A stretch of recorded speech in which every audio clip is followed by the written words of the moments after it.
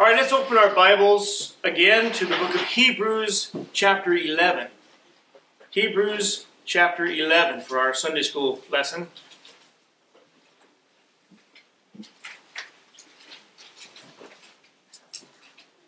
Hebrews, chapter 11. With, we read through verse 31 last time, but let's go back over this and uh, observe a few details. I mentioned that the ABC of faith seems to be an action based on a belief and sustained by confidence. Verse 6 says, But without faith it is impossible to please him, for he that cometh to God must believe that he is, and that he is a rewarder of them that diligently seek him. It's the conviction that you can trust what you're trusting. It's also, it also begins with an assumption that he is, and that he is a rewarder of them that diligently seek him. The word diligent is worth noting. If you're a Roman Catholic whose life is still empty, you can't say, well, I tried Christianity and that didn't help, so maybe I'll try something else now. You haven't tried Christianity at all. You know something? Roman Catholicism is nothing but a stage play in three acts. Go to a Catholic church, go to a Mass. I've been working in the funeral business for 33 years. And I don't know how many hundreds and hundreds and hundreds of Catholic funeral masses I've gone to, but I've gone to other Catholic services um, and the format is basically the same. It starts in the back of the church. The priest comes back. He's got his robe on, maybe a couple of altar servers. He greets the people out of, out of his missal, his prayer book. And then they proceed up the aisle, either with candles. Um, if you're lucky at a funeral, you get to smell the incense, right? And uh, there's a musician playing. There's a procession going up the center aisle as a big formal entry and they get to the front of the altar, uh, the priest and the altar uh, assistants, they bow in unison toward the cross like the Beatles used to do toward the audience in the 60s. And they take their places. Then they go into the liturgy of the Word, that's Act 1. The liturgy of the Eucharist, that's Act 2. Then some final commendations, that's Act 3. Sometimes they will allow people to come up and sing a song, make a few personal comments or some announcements. That's at the priest's discretion. But it's the same play acted out every single day of the year, 365 days a year, actually 364 days of the year. Good Friday is the one day of the year Catholics don't uh, do Mass. The so called day that commemorate the death of Jesus Christ is the one day they don't do it. Go figure. I don't know why. But it, it, it's the same conclusion, you it's the same um, climax at the end of the play every time. And the priest, even in the missal, the instruction books show the priest when to make the sign of the cross, when to hold his hands over his chest, when to do a number of things, like a script. The, the directions are written on the missal. But the people don't know that. They think this man's extra pious because the way he holds his hands differently than we hold our hands. When you don't know God, you fake it by costume and by bodily gestures. That's all it comes down to.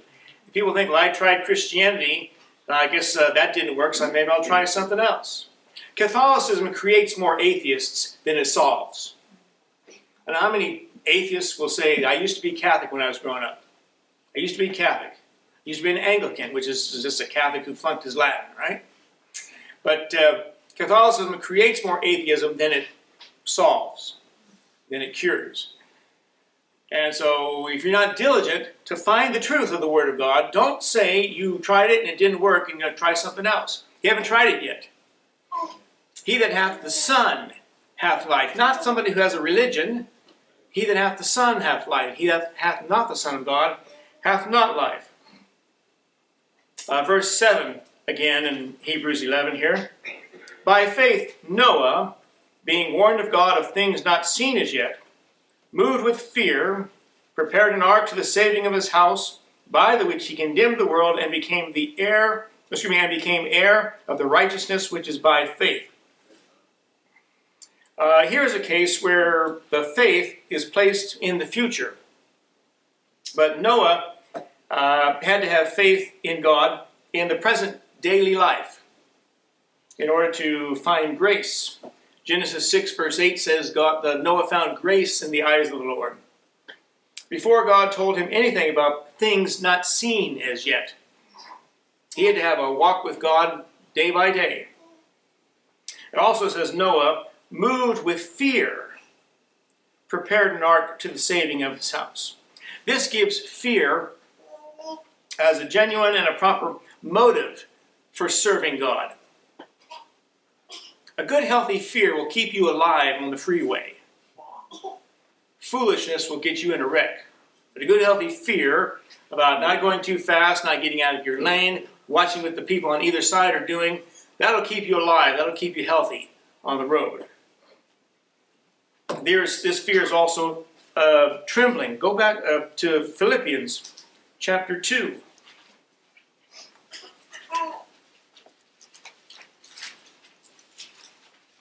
Philippians chapter 2. Notice there, Philippians 2, verse 12. Wherefore, my beloved, as ye have always obeyed, not as in my presence only, but now much more in my absence, work out your own salvation with fear and trembling. Proverbs chapter 1. Proverbs chapter 1.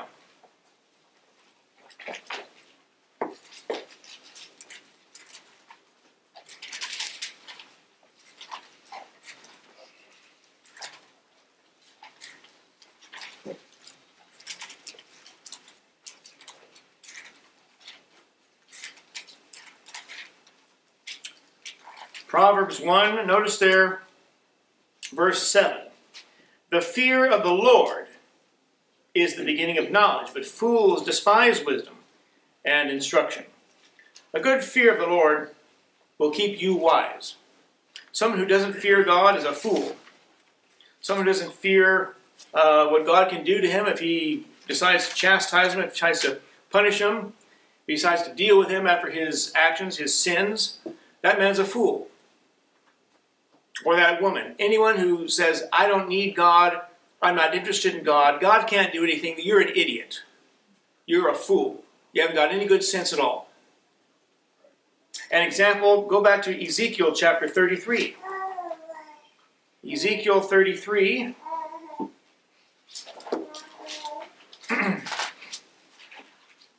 Ezekiel 33, notice there verses 7 and 8. Ezekiel 33, verses 7 and 8. So thou, O Son of Man, I have set thee a watchman unto the house of Israel. Therefore thou shalt hear the word in my mouth, and warn them from me. When I say unto the wicked, O wicked man, thou shalt surely die, if thou dost not speak to warn the wicked from his way, that wicked man shall die in his iniquity, but his blood will I require at thine hand. You should fear failing the Lord. That, that's a good motive for you living for God. That's a good motivation for you to serve Jesus Christ. Do what you can to reach somebody else before they end up dead somewhere and face God in eternity uh, unprepared. One thing you don't want to do whenever possible is, is enter into something unprepared. Um, if you buy an insurance policy, car insurance, homeowner's insurance, life insurance, you have certain promises spelled out in the policy, in writing. And because it's based on, because it's in writing, you hold that company accountable to fulfill what they've sold you. And the way we have confidence that we're saved is because we read it on the pages of the Bible. We believe what we're, what's written to us in black and white. So it was just an open promise given orally, just a handshake, and there was nothing ironclad in actual writing you could pinpoint and say, this is what I'm holding you to. Well, then someone could renege and say, well, we never promised that because it's not in writing. You watch these Judge Judy programs and TV shows, you know, if you don't have an agreement with the other party in writing, then don't come and say, well, he promised me he'd do this, she said she'd do that. The judge not interested in that. They're interested in what's actually written down. They can only hold you accountable and uh, hold uh, responsible the things that are written down or put in writing, I should say. And so it is with salvation and depending on the Word of God to be telling you the truth. Uh, 2 Corinthians chapter 5. Over there, if you will. 2 Corinthians chapter 5.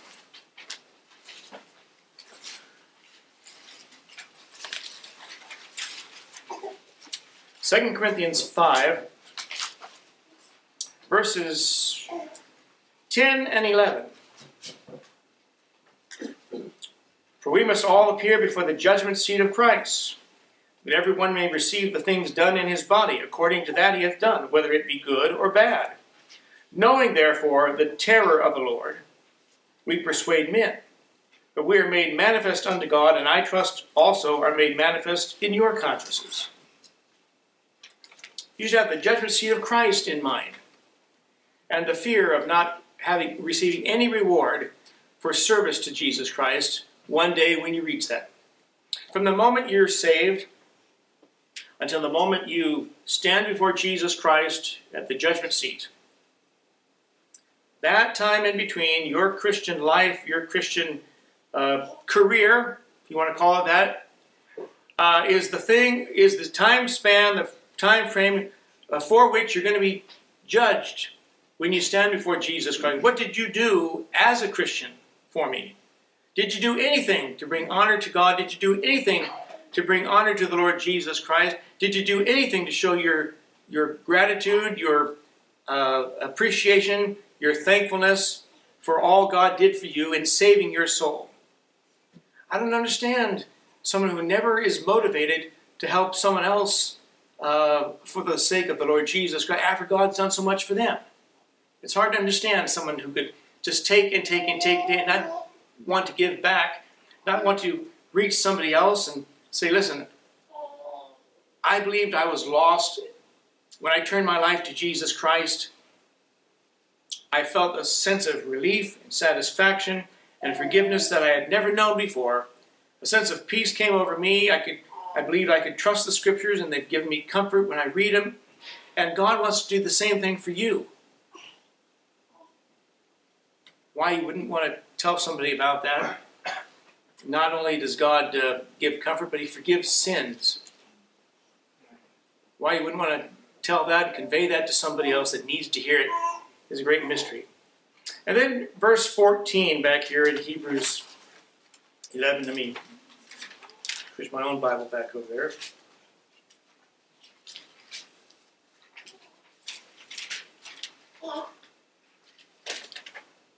There, verse 14 says, For they that say such things declare plainly that they seek a country. Verse 16, But now they desire a better country, that is, in heavenly. The they isn't Abraham and Sarah, but it's a reference to someone else like Abraham or like Sarah. They that say such things is not a reference to Abraham looking for a city in the land of promise, as verse 9 mentioned when we were there. They is a reference to someone like Sarah, like Abraham. But who? Well, go forward a few pages to 1 Peter chapter 3. 1 Peter chapter 3. Notice 1 Peter chapter 3, verse 6. even as Sarah obeyed Abraham, calling him Lord, whose daughters ye are, as long as ye do well and are not afraid with any abasement. Peter was writing to born again men and women in the church age. 1 Peter 2, verse 2 As newborn babes, desire the sincere milk of the word that you may grow thereby. That's men and women. 1 Peter 5 and verse 13, Paul or Peter writes, The church that is at Babylon, elect together with you, saluteth you, and so doth Marcus my son. Well, that would have been the land of Babylon still existing, and the believers all the way over there. The Catholic Church says, well, Babylon, that's a, that's a code word for Rome, the city of Rome. They damn themselves by saying that. When they say that that's a code word for uh, Rome, meaning Peter is sort of a secretly, cryptically referring to Christians in the city of Rome, but he uses their name Babylon. You know what? That's a, they damn themselves because you go to Revelation 17, Babylon the Great, the mother of harlots and abominations of the earth. That's clearly wrong. Yeah, that's true. But um, they're not looking for a city in the land of promises. Abraham was. They're looking for an heavenly country. Verse 16. Uh, verse 16 again.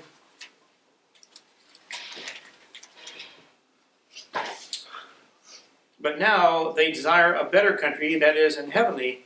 Wherefore God is not ashamed to be called their God, for he hath prepared for them a city. Revelation chapter 21. Revelation 21.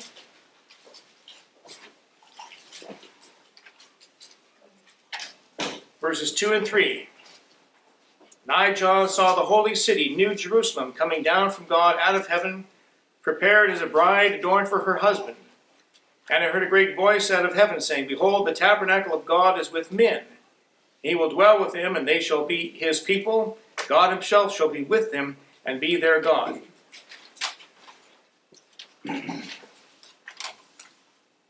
Let's finish this chapter, pick up there at verse 32. And what shall I more say?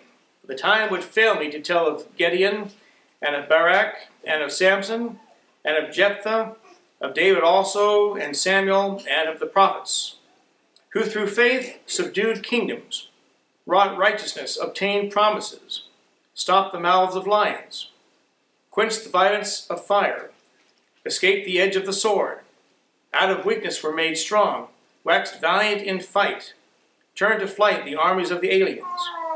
Women received their dead raised to life again, and others were tortured, not accepting deliverance, that they might obtain a better resurrection. And others had trial of cruel mockings and scourgings, yea, moreover, of bonds and imprisonments. They were stoned, they were sawn asunder, they were tempted, were slain with the sword. They wandered about in sheepskins and goatskins, being destitute, afflicted, tormented, parentheses, the, of whom the world was not worthy, and in dens and caves of the earth. And these all, having obtained a good report through faith, received not the promises, excuse me, the promise. God having provided some better thing for us, that they, without us, should not be made perfect. The writer can't go into any more detail. He's given sufficient examples up to this point.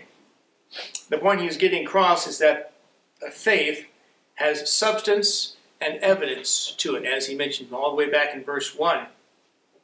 Let's review some of the examples uh, that we just covered. Mm, verse 33 said, uh, Who through faith subdued kingdoms, wrought righteousness, obtained the promises. Well, in 2 Samuel chapter 7, uh, God's, God tells uh, David that he's going to bless his seed generations to come. Bless his household for generations to come. And verse 34, quench the violence of fire.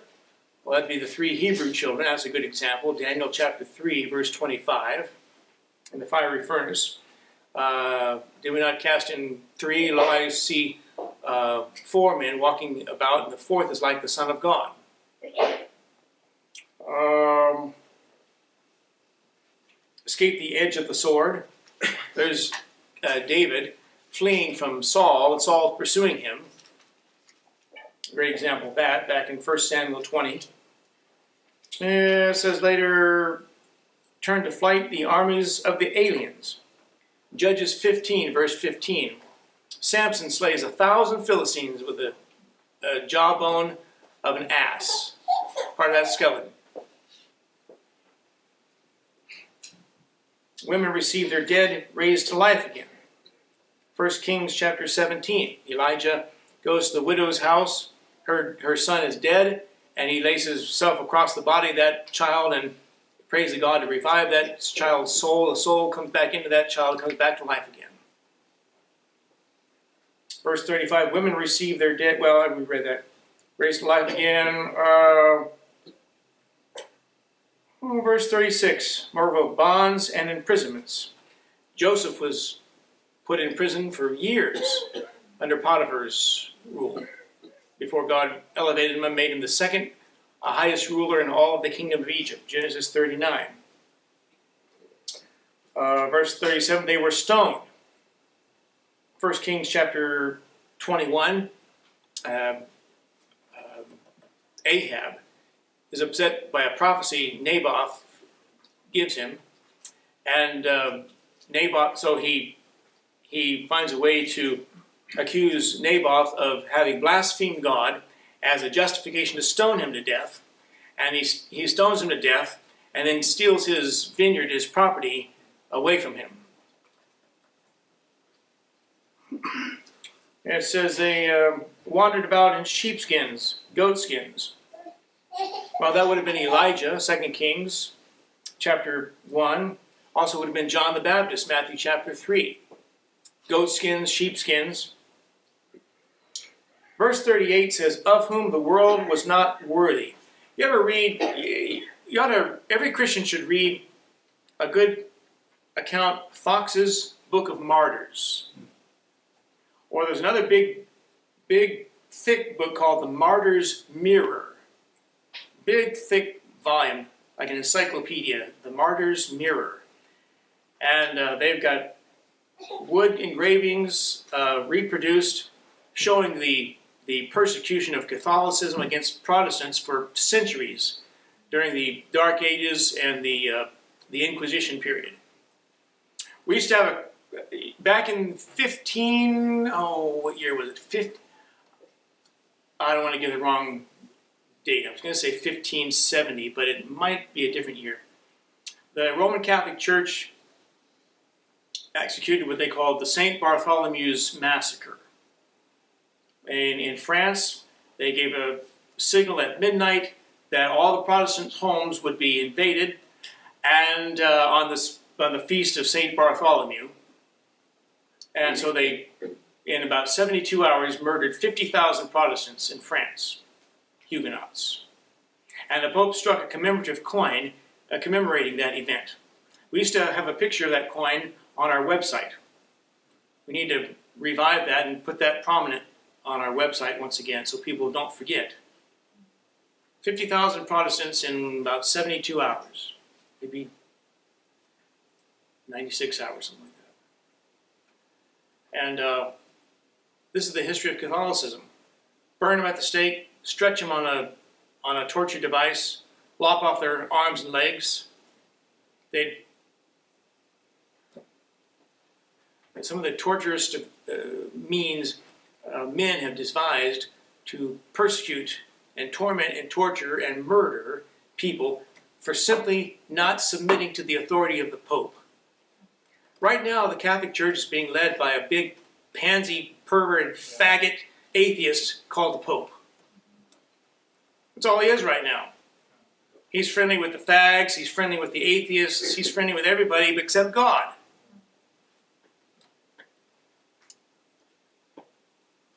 Uh, popes are nothing but politicians.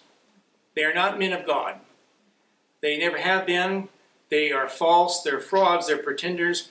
The one thing you can say is that in times past, decades past, and even centuries past, the world was a different world. People had a little bit more character. They would give lip service to God, even if they weren't born again they would give lip service to God and reverence to the scriptures, even if they never read them, didn't study them, didn't know them, never memorized them. You could say that about a lot of, uh, you can still say that about some um, conservative thinking Roman Catholic citizens in the United States today. They may be lost on their way to hell, but they have some respect, some measure of respect for God and the, the gospel of Jesus Christ, such as they know it. And they want their children to have some respect for the things of God, those things that they believe are, are part of worshiping God and worshiping Jesus Christ and knowing the life of the Holy Spirit. But uh, finding people like that is very difficult anymore. And um, New Testament was uh, actually, before I finish, go to um, go back to Exodus 34. Exodus 34.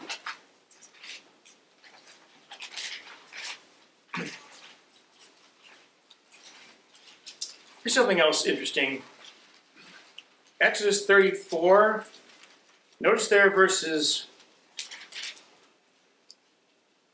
6 and 7.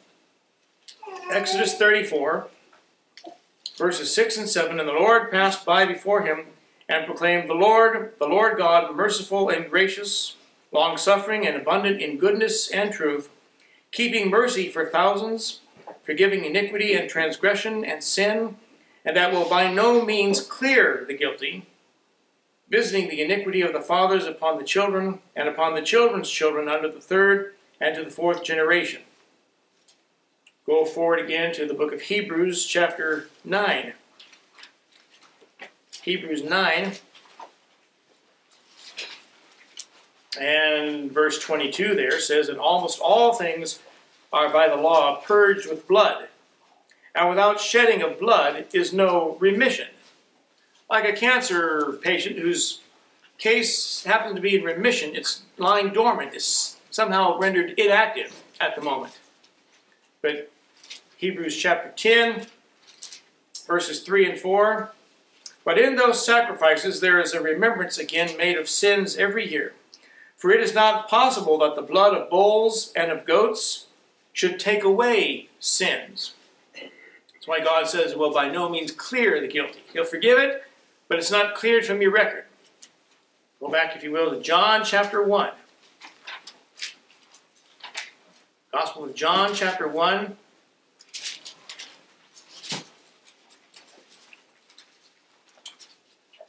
John chapter 1, notice there verse 29.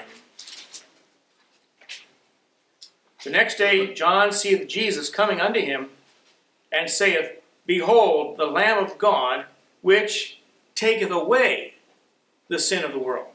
That's the difference between the animals in the Old Testament and the death of the Lord Jesus Christ for us in the New. The New Testament was, in, was instituted to clear the sinner whose sins had been in remission, but they weren't taken away. Um, they needed a perfect sacrifice once and for all to accomplish all of that. That was the Lord Jesus Christ. And let me illustrate it the way I've done it before. God gave man dominion over the animals, Genesis chapter 1. And then he said, I want you to offer an animal, uh, offer animals and beasts as sacrifices for your sins when you sin. But the animal was not equal to the man in value. The man was given dominion over the animals. And that's what God commanded to be offered. What man needed was a sacrifice that was not only equal to him in value, but even greater than him in value. So that once that death was uh, carried out, it wouldn't have to be repeated. This is so. This is how far above modern and mortal man the Lord Jesus Christ uh, is and always will be. His death was sufficient once and for all. If the death of Jesus Christ wasn't perfectly sufficient one time, one time only, it'll never be perfectly sufficient no matter how many times the Catholic priest wants to repeat it. It'll always be weak. The Holy Spirit doesn't dwell on the sins of some of these men. Jephthah, David, his Bathsheba, and uh, Uriah the Hittite.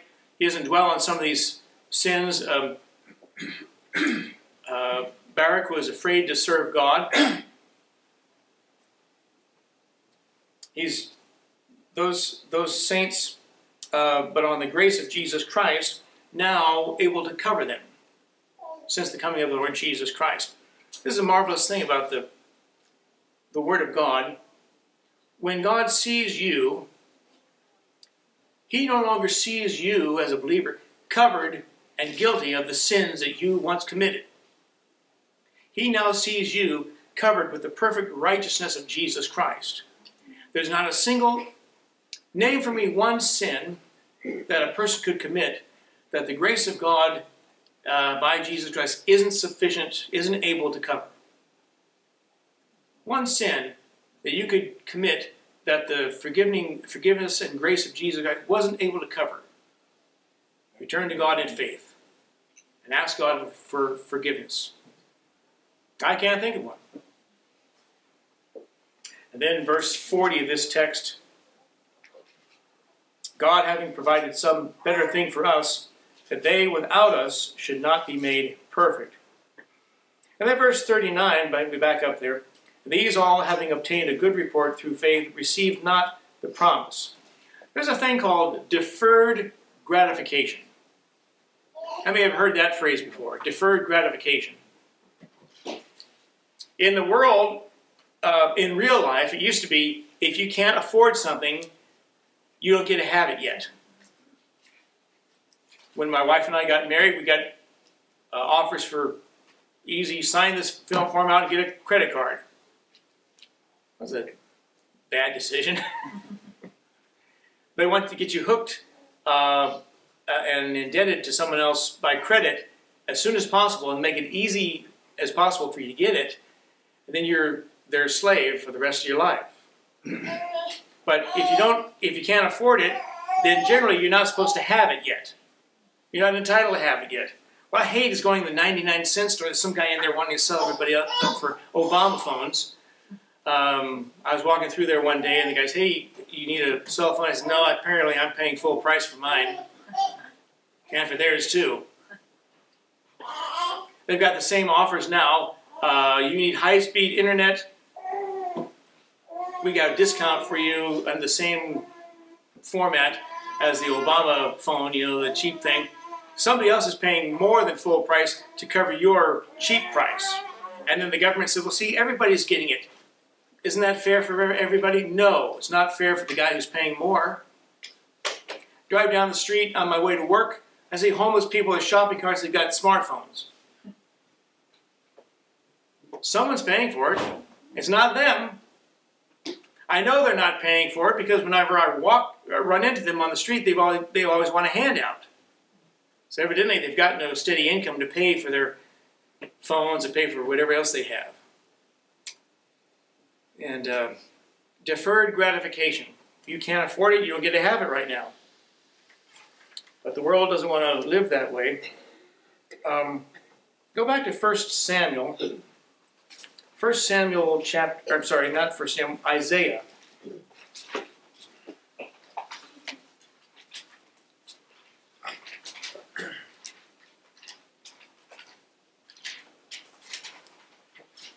Isaiah 40. And notice there, verse 31. But they that wait upon the Lord shall renew their strength. They shall mount up with wings as eagles. They shall run and not be weary. And they shall walk and not faint. Someone says, well, that word wait. That wait that word wait can go two direct have two meanings. Does it mean to wait patiently and not do anything until you're, you're sure what to do yet? Or does it mean to wait on God like a waiter, looking to serve Him, looking to do something for Him? The answer to that question is yes.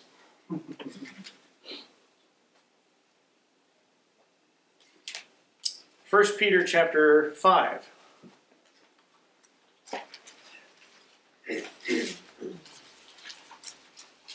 First Peter 5 and verses 5 and 6. Likewise, ye younger, submit yourselves unto the elder. Yea, all of you be subject one to another, and be clothed with humility, for God resisteth the proud, and giveth grace to the humble. Humble yourselves, therefore, under the mighty hand of God, that he may exalt you in due time. Wait for it. Some things are worth waiting for. Galatians chapter 6.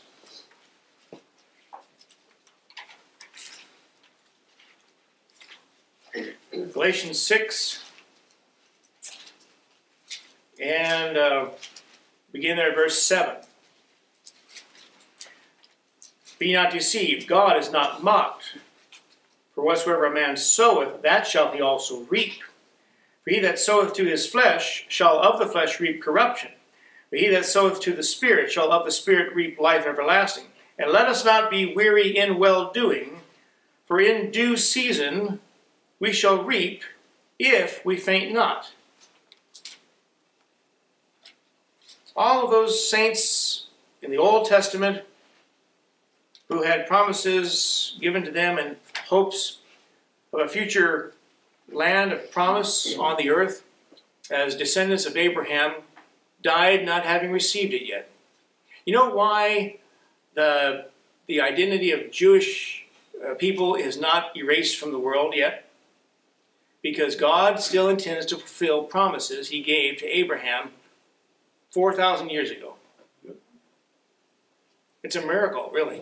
It's a modern miracle. It's, it defies most people's explanation that there is an identity of people who say the world hates us, people accuse us of everything, they blame us for their own financial problems, and we've got our own problems to uh, answer for, but we are Jews.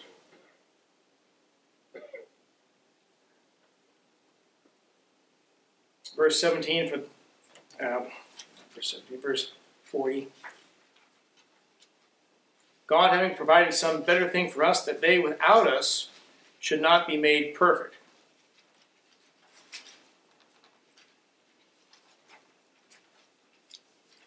Eventually, the physical, fleshly Jewish nation will inherit the land of promise here on the earth as God once promised to Abraham.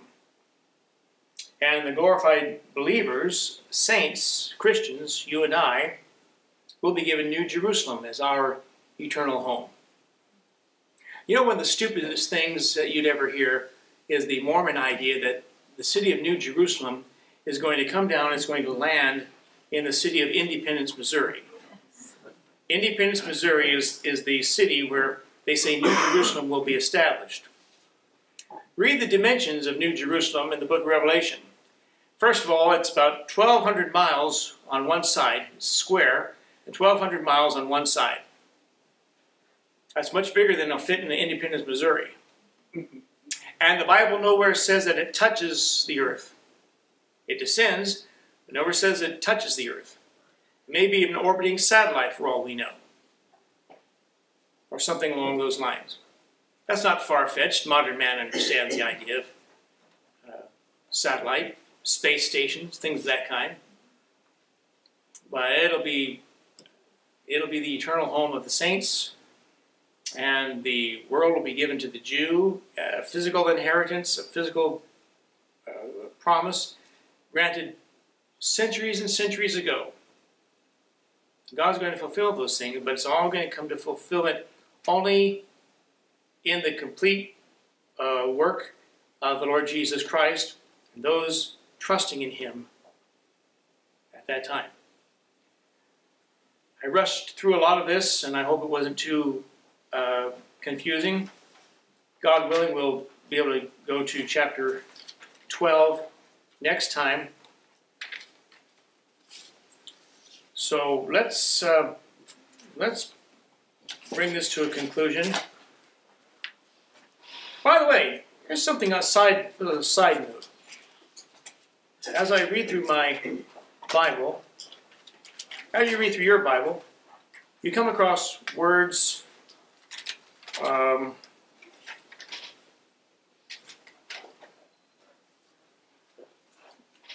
and you see the the Bible give you the, the Hebrew word and they'll tell you what the, the word means.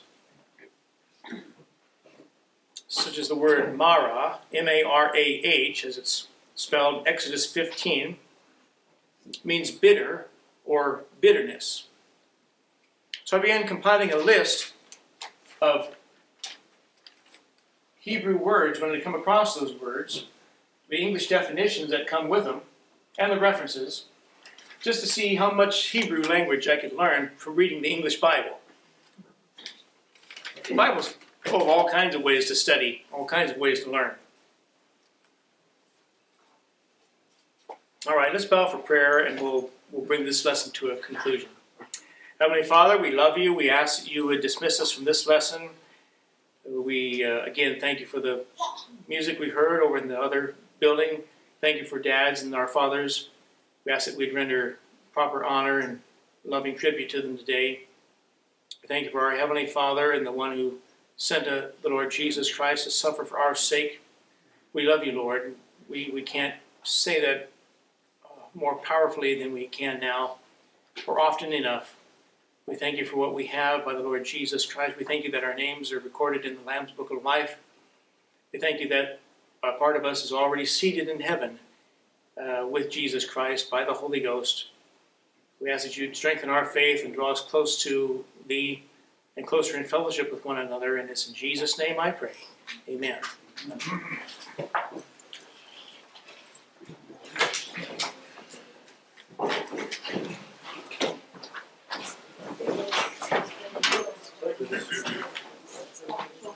It